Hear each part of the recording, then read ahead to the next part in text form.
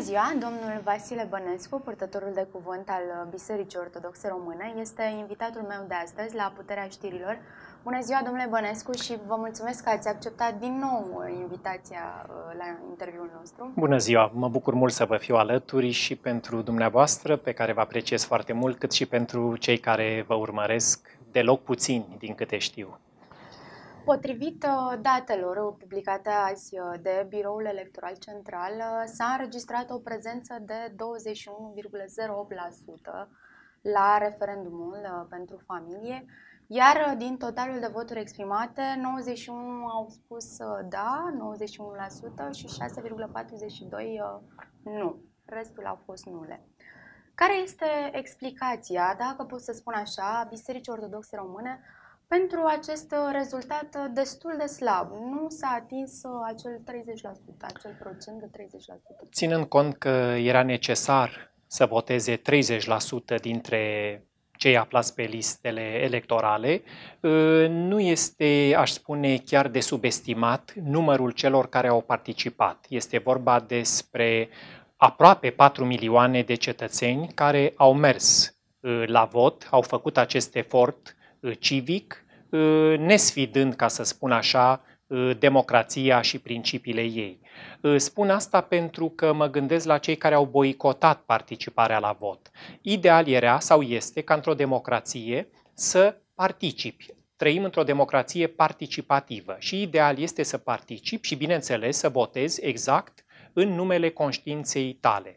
Dincolo de asta însă, dacă mă întrebați de ce nu, nu a trecut referendumul, de ce nu s-au întrunit uh, acești 30% sau procentul de 30%, eu m-am tot gândit, evident, și am găsit câteva uh, explicații care nu mă mulțumesc, ci din potrivă, evident, uh, mă întristează, dar ele cred că trebuie luate în considerare.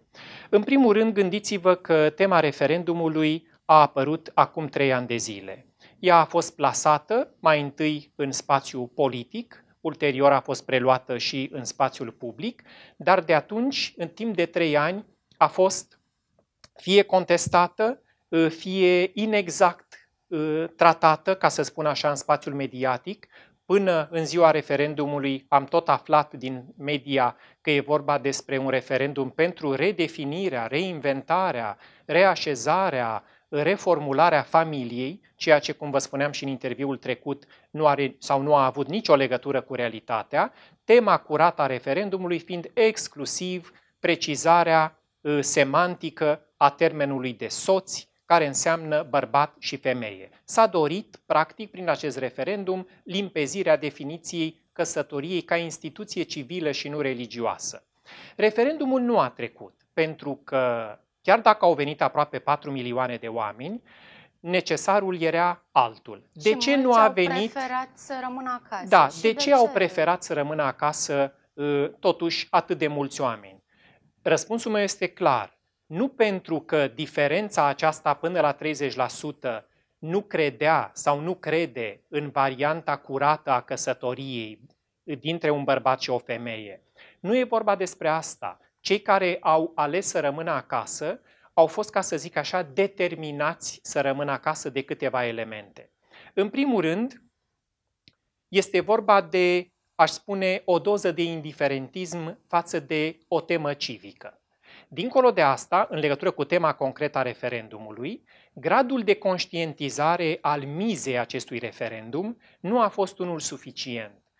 Trebuie să recunoaștem că omul majoritar Ă, nu este, pentru omul majoritar, nu e chiar subînțeles ce înseamnă asaltul ideologic asupra căsătoriei, asupra familiei, ce înseamnă diluarea căsătoriei în paradigmă ideologică. De fapt, scopul referendumului a fost protejarea acestei instituții a căsătoriei în fața unui asalt ideologic menit să o deschidă și către persoane de același sex.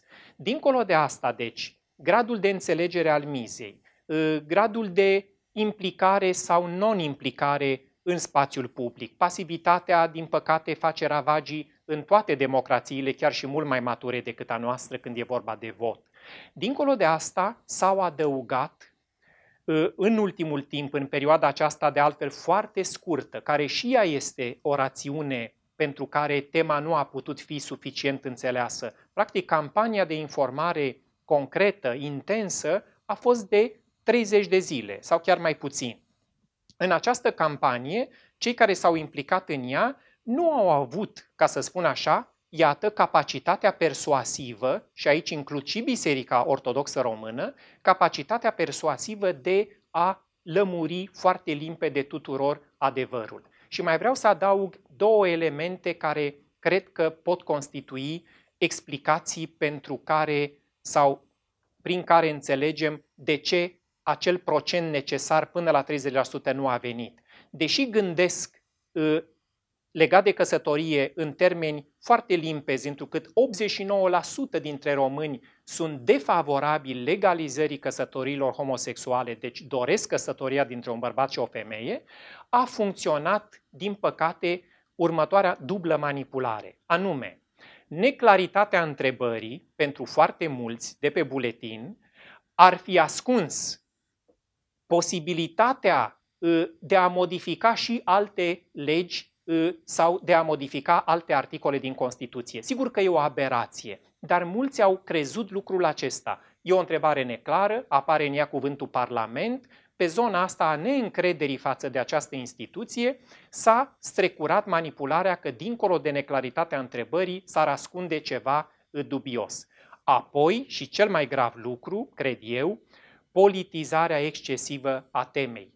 S-a ajuns la această sintagmă este referendumul lui X, un personaj politic ultra vizibil în România. Nu mai este referendumul milioanelor de cetățeni care l-au cerut, a fost confiscat de un anumit personaj uh, față de care societatea se poziționează, după cum știm, uh, foarte diferit și acest lucru i-a determinat pe acești oameni să alunece într-un scepticism legat de tema referendumului. Asta voiam să vă și întreb. Faptul că PSD și ALDE, care știm că sunt o partidă destul de controversată în ultima perioadă, s-au implicat în uh, această campanie, uh, a determinat uh, și acest absenteism. Da.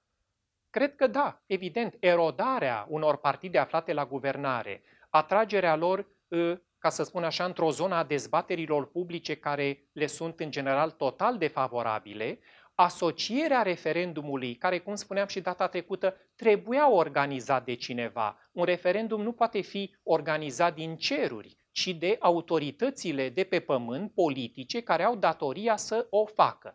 Dar, pe fondul acesta bine sesizat de dumneavoastră, de neîncredere, de dispreț, de detestare chiar a unei zone din politicul românesc, asocierea referendumului cu această zonă a provocat uh, reținerea foarte multor oameni de a veni la vot. Deși ei, repet, sunt siguri și știm asta, gândesc în termeni limpezi noțiunea de căsătorie.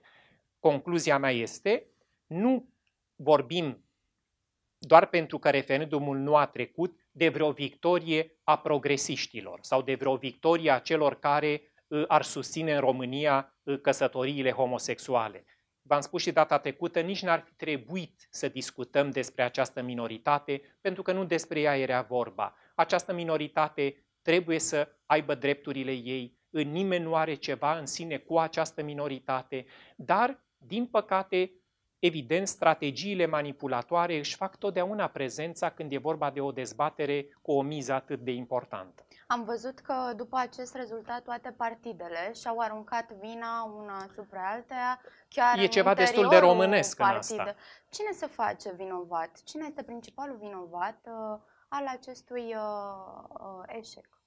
E foarte greu să identific un vinovat Uh, vinovați, în fond, aș spune că suntem toți cei care, în grade diferite, uh, am sprijinit acest referendum și nu am reușit să fim fiecare dintre noi suficient de convingători în lămurirea temei, repet, curate în sine a acestui referendum. Uh, nu cred că este vinovată o instituție, ar fi o generalizare absurdă și mă feresc să generalizez întotdeauna. Sunt poate vinovați mai mult cei care au vrut să profite de pe urma acestui referendum și care l-au compromis cumva ă, prin asocierea excesivă cu el. Biserica era fire să-l susțină și știți foarte bine că nu doar Biserica Ortodoxă, ci toate cele 18 culte religioase s-au implicat în susținerea lui, atenție, nu în inițierea și nici în organizarea lui, în susținerea lui și a temei acesteia publice, din rațiuni pe care deja le-am explicat. Dar ă, nu putem spune că sunt vinovați cei care au susținut referendumul. Ă, vinovați, cred că trebuie să ne simțim cu toții într-un stat democratic dacă nu reușim să fim suficient de elocvenți, suficient de convingători și suficient de, ă, ca să spunem așa, buni reprezentanți și credibili reprezentanți ai unei teme în care credem. Spuneați de cei care au vrut să profite de pe urma acestui referendum. Cine sunt cei care au vrut să profite? Ă, cei care și-au dorit, evident, ă, asocierea cu el, o imagine publică, ca să spun așa, ameliorată de asocierea cu o temă curată, precum cea a referendumului, toată lumea vorbește despre, repet, raportarea excesiv politică, sau mai precis implicarea poate neinspirată în susținerea acestui referendum a unor persoane. Nu nominalizez pentru că sunt persoane publice și fie îi nominalizăm pe toți, fie pe nimeni. Dar au greșit partidele politice că s-au implicat în această campanie? Uh, nu au greșit, cred.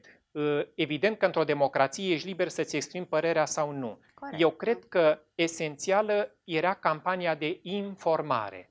Este firesc să fim informați de autorități. Dacă actualii guvernanți și-au luat uh, obligația în serios de a organiza referendumul, erau datori să și informeze cetățenii cu privire la el. Aici nu este nici vorba de o culpă și nici de vreun triumf sau de vreun merit al cuiva. Vorbim de o datorie rece, care trebuia împlinită.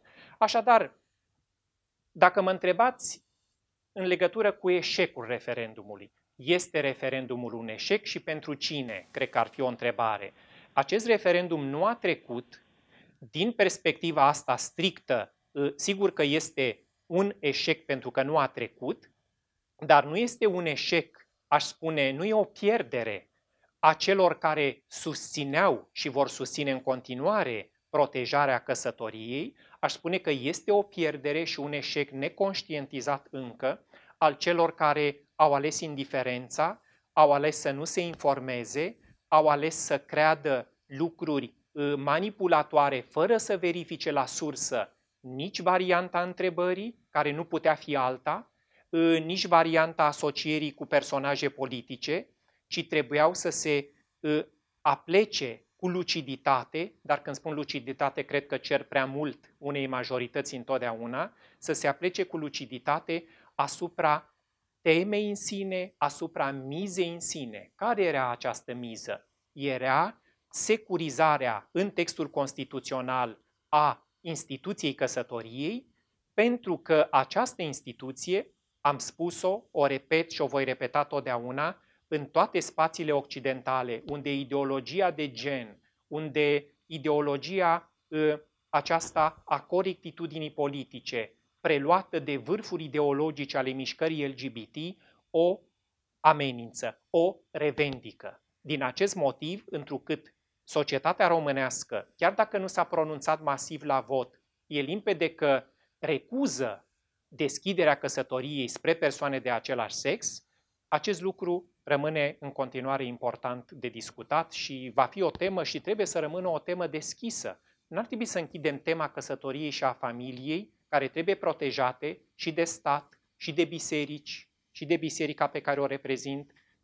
Iar dacă mă întrebați ce lecție ar trebui să învățăm din asta, cred că lecția pe care trebuie să o învățăm este creșterea necesara creștere a gradului nostru de luciditate, necesara creștere a gradului nostru de implicare în zona polisului, a cetății, a treburilor publice, trebuie să ne exprimăm. Cred că a tăcea, a boicota un demers nu e niciodată o soluție. Implicarea este o soluție. Părintele Constantin Necula afirma astăzi că, din punctul dânsului de vedere, creștinismul românesc a intrat în minoritate.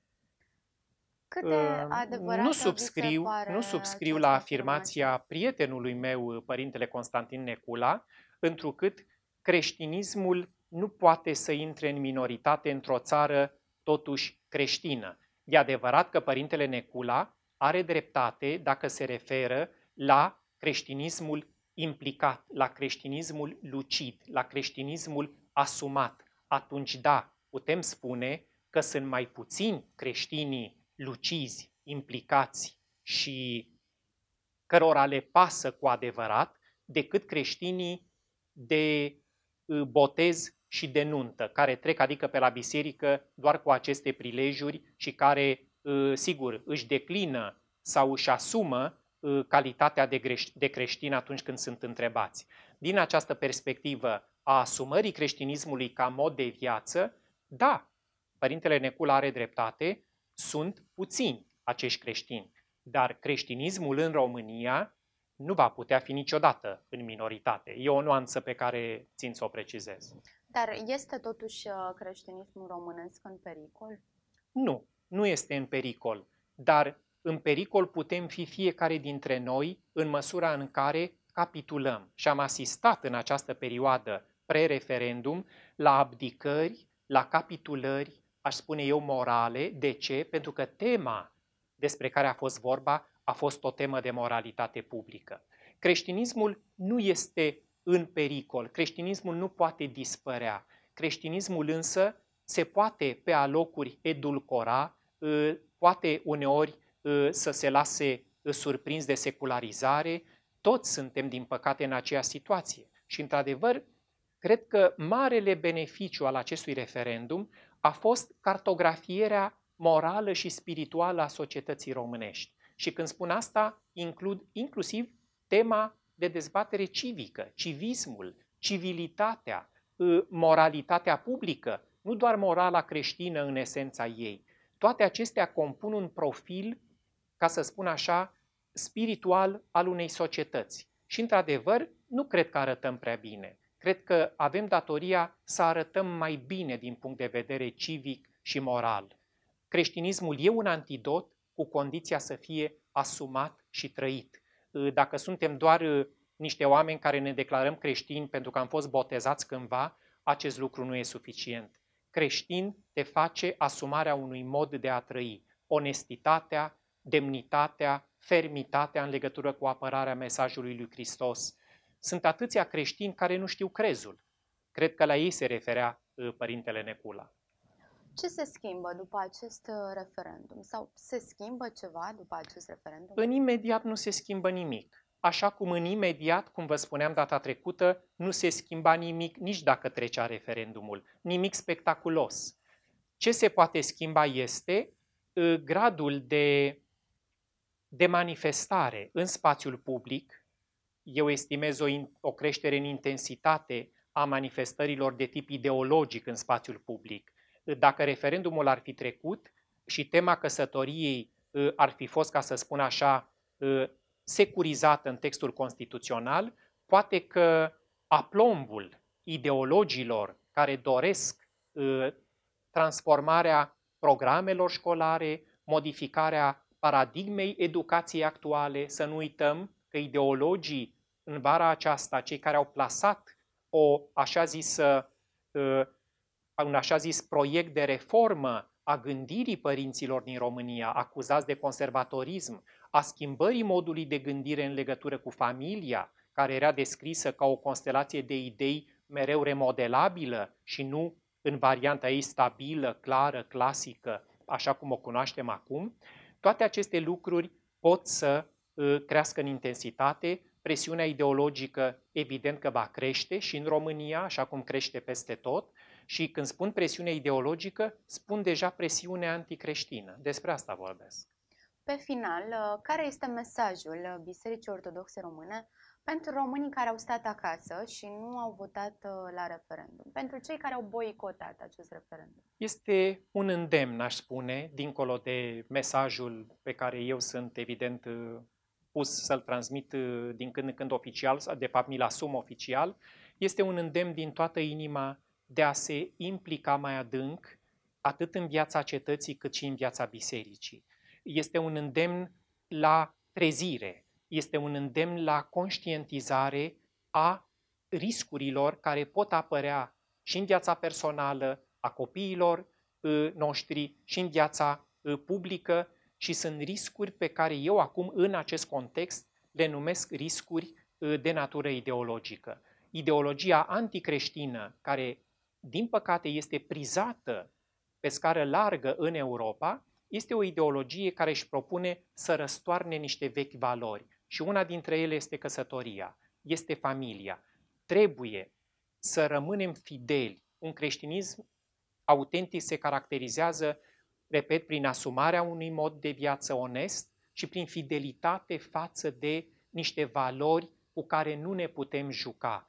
Ă, schimbarea valorilor odată ă, la 100 de ani ă, n-a, dus, n-a adus nicăieri un beneficiu. Există valori non-negociabile și, evident, valori noi care pot apărea. Dar valorile non-negociabile, precum credința, familia, căsătoria, biserica, școala, familia, repet încă o dată, acestea sunt lucruri care trebuie să rămână neschimbate în esența lor, ci doar trebuie înnoite pentru a rămâne cuplate la realitatea în care trăim. Domnule Bănescu, eu vă mulțumesc pentru că ați acceptat uh, invitația noastră. Cu multă bucurie. Ați fost uh, din nou alături de noi și vă mai aștept uh, cu dragă inimă pe la noi. Cu multă plăcere. Eu vă mulțumesc.